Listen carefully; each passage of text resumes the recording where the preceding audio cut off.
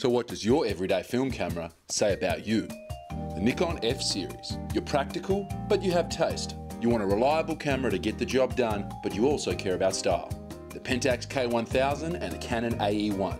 You're either a total noob who's just started shooting and you only bought this camera because your favorite YouTube photographer told you so, or you've reached God tier status and realized that gear does not matter anymore and you can use any camera to get the job done. The Contax T2 and Leica Minilux.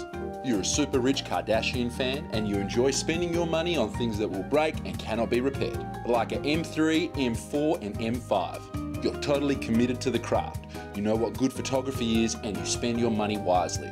The Leica M6. You have delusions of grandeur and you think by buying this camera you will be the next Cartier-Bresson.